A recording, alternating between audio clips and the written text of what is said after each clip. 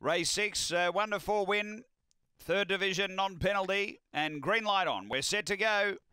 Ready to race. Race six at Angle Park.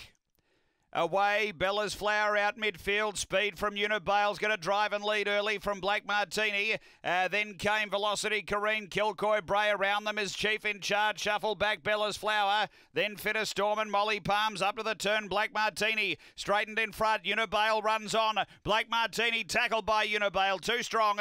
Unibale beats Black Martini. Third Chief in charge. Then Bella's Flower. Next is Fitter Storm, Kilcoy Bray, Molly Palms, and Velocity Kareen back at the tail. Number three, Unibale, Paul Fagan, just finished uh, a little too well. Three, four, eight, and uh, five. Number three, Unibale, Paul Fagan. Second to four, Black Martini for John Mundy. And uh, third going to eight, Chief in Charge for Jack Trengove.